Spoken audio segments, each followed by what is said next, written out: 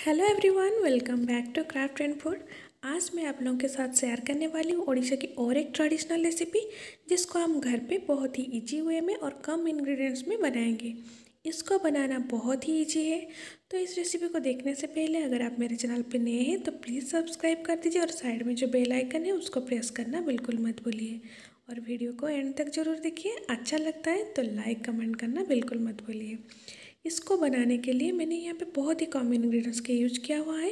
अभी मार्गशीर महीना के जो गुरुवार आ रहा है, हम घर पे ये रेसिपी जब बनाते हैं, क्योंकि लक्ष्मी जी का जो पूजा करते हैं, हम राइस या फिर चावल वगैरह नहीं खाते हैं तो ये सब बनाते हैं और ये बनाने में बहुत ही ईजी रहता है। हमारे उड़ीसा में तेरह, बारह महीने में तेरह मतलब फेस्टिवल रहता है तो हम लोग बहुत सारे ऐसे रेसिपी ट्राई करते हैं। आज मैं उनमें से आप लोगों के साथ शेयर करने वाली हूँ मेथी पोड़ो पिठा। तो चलिए स्टार्ट करते हैं आज की रेसिपी सबसे पहले मैंने यहाँ पे एक किलो राइस और ट्वेंटी फाइव ग्राम यानी कि तीन बड़े चम्मच मेथी जो है उसको भिगो के रख दिया था। तो चावल जो हम यहाँ पे लेंगे, ये है अरुआ वाला चावल। ये नॉन बॉयल्ड राइस है बॉयल्ड राइस नहीं है।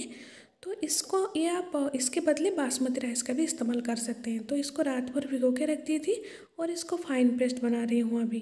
फाइन पेस्ट बनाने के बाद मैंने इसको ढक के सात से आठ घंटा रख दिया था, क्योंकि ये फर्मेंटिंग होगा, इसलिए हमें सात से आठ घंटा रखना ज़रूरी है, क्योंकि अभी ठंड का मौसम है तो रख, सात आठ घंटा नहीं रखेंगे तो अच्छे से फूलेगा नहीं।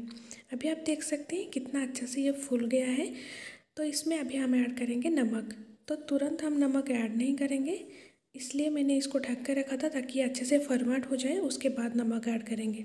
तो यहाँ पे मैंने ऐड करा हुआ है दो चम्मच नमक, दो बड़े चम्मच नमक ऐड करा हुआ है, यानी कि आप टेस्ट के अकॉर्डिंग ऐड कर सकते हैं। तो यहाँ पे जो मेथी का क्वांटिटी मैंने लिया हुआ है, बहुत ही कम लिया हुआ है। एक किलो चावल में ट्वेंटी फाइव ग्राम हम मेथी दाना के यूज़ करेंगे। अभी इसको अच्छे से मिक्स कर लेंगे। ध्यान रखिएगा, जब भी आप इसको ग्राइंड करेंगे, ज़्यादा पानी ऐड मत करिएगा थोड़ा सा पानी देके इसको हल्का सा थीक बैटर बनाइएगा। और इसके बाद मैं अभी यहाँ पे ऐड कर रही हूँ एक बड़े कप चीनी और थोड़ा सा छोटे छोटे टुकड़े में किया हुआ नारियल। तो यहाँ पे आप चीनी जो है, अपने टेस्ट के अकॉर्डिंग ऐड कर सकते हैं। चीनी के बदले आप आप इसमें जागरी यानी कि गुड़ का भी इस्तेमाल कर सकते हैं। लेकिन चीनी से क्या होता है, इसका टेस्ट जो है बहुत ही अच्छा आता है। इसमें और कुछ भी इन्ग्रीडियंट्स हमें ऐड नहीं करेंगे और इसको अच्छे से मिक्स कर लेंगे। क्योंकि यहाँ पे चीनी और नमक का जो हम इस्तेमाल किए हैं ना, ये अच्छे से पानी निकल गया मतलब कि पानी छोड़ता है, न, नमक और शुगर। इसलिए हम इसको अच्छे से मिक्स करेंगे।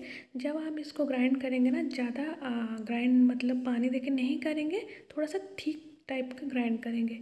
लेकिन हमको एकदम फाइन ग्राइंडिंग चाहिए। पहले आप पल्स में ग्राइंड करिएगा, उसके बाद थोड़ा सा पानी देके अगर ग्राइंड करेंगे ना तो ये अच्छे से बैटर बन के रेडी हो जाएगा। अब ये देखिए कितना अच्छे से बन के रेडी हो गए तो इसी स्टेज पे हम इसको रख लेंगे साइड में और चलेंगे नेक्स्ट प्रोसेस में। इसके बाद मैंने यहाँ पे एक कढ़ाई लिया हुआ है और इसमें मैंने थोड़ा सा घी ऐड कर रही हूँ। तो ट्राई करिएगा आप मिट्टी के बर्तन या फिर नॉन स्टिक का यूज़ करने के लिए। अगर दोनों आपके पास नहीं है देन आप क्या कर सकते हैं, लोहे का यानी कि आयरन की कढ़ाई है तो उसमें भी आप कर सकते हैं। तो यहाँ पे मैंने घी ऐड करने के बाद सारे बैटर को ऐड करूँगी। ज़्यादा हीट नहीं है तो ये हल्का सा गर्म है। अभी इसी स्टेज पे मैं बैटर ऐड करूँगी। तो आप जितने क्वांटिटी में आपको चाहिए, आप उसी के हिसाब से ऐड करेंगे। तो यहाँ पे मैंने जितना बनाए थे ना तो उससे आधा मैंने ऐड कर दिया था बैटर क्योंकि ये थोड़ा सा फूलेगा और ये थोड़ा सा कढ़ाई बड़ा था, इसलिए मैंने यहाँ पर थोड़ा सा ज़्यादा ऐड करा हुआ है। अभी इसको हम हाई फ्लेम में रखे हैं। तो देखिएगा, नीचे से अभी जो घी है, ऊपर आ रहा है। तो ये गर्म नहीं था ज़्यादा इसलिए। तो अभी मैंने फ्लेम फ्लेम को जो है बढ़ा दिया है, हाई फ्लेम पे रखा है और इसको अभी ऐड करने के बाद हम इसको ढक के पाँच से सात मिनट के लिए मीडियम टू लो फ्लेम पे कुक करेंगे। जब हम इसको ऐड करेंगे हाई फ्लेम में रखेंगे तो बैटर ऐड करने के बाद हम लो टू मीडियम फ्लेम कर लेंगे और ढक के पाँच से सात मिनट या फिर आठ मिनट तक हम इसको कुक करेंगे। तो अभी आठ मिनट के बाद मैं आपको दिखा रही हूँ। आप देख सकते हैं कितना अच्छे से ये बबल्स आ रहा है ऊपर, यानी कि जो पीठा है ये अच्छे से फूल रहा है। तो अभी नीचे साइड में जो आप देख सकते हैं, घी कितना अच्छे से वो भी बॉयल टाइप का दिख रहा है ना। तो ये साइड में जैसे मैं आपको दिखा रही हूँ, इस टाइप का हमको पूरा ऊपर भी ड्राई हो जाएगा, तब हम इसको पलटेंगे। तो वही मीडियम टू लो फ्लेम पे रखेंगे और दोबारा इसको ढक लेंगे। बीच में आप चेक करते जाइएगा। अभी यहाँ पर देखिए, मैं यहाँ पे इलेवन मिनट यानी कि टेन टू इलेवन मिनट के बाद मैं अभी यहाँ पे आपको दिखा रही हूँ। इस जो पीठा है हमारा ऊपर से एकदम कुक हो गया है और जैसे केक का होता है ना बबल्स वैसे आ रहा है। तो इसको अगर आप चाह अगर आपको हड़बड़ी नहीं है तो आप क्या करेंगे, थोड़ा सा इसको ठंडा आने देंगे, फिर पलटाएँगे। तो अभी देखिए, नीचे से कितना अच्छे से कलर आ गया है। अभी मैं क्या करूँगी, इसको पलटाऊँगी और दोबारा पाँच से सात मिनट के लिए हाई फ्लेम पर कुक कर देंगे। तब नीचे से भी ये अच्छे से कुक हो जाएगा।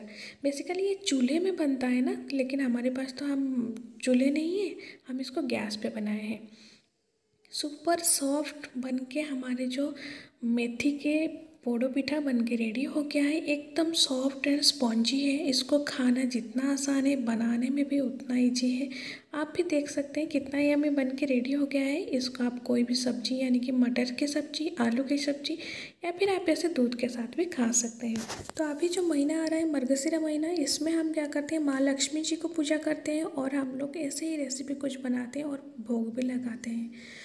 तो ये था मेरा आज का रेसिपी अगर आप वीडियो अच्छा लगे तो प्लीज़ लाइक, कमेंट, शेयर करिए। मेरे चैनल को सब्सक्राइब कर दीजिए और ये सुपर सॉफ्ट मीठा बनाने के लिए वीडियो को एंड तक देखने के लिए थैंक यू सो मच। तो मेरे चैनल पे ऑलरेडी बहुत सारी ऐसी रेसिपीज़ हैं। प्लेलिस्ट में आप जाएँगे ओडिशा ट्रेडिशनल पीठा और मीठा रेसिपी में आपको मिल जाएगा। तो मिलते हैं एक नई रेसिपी के साथ। तब तक के लिए बाय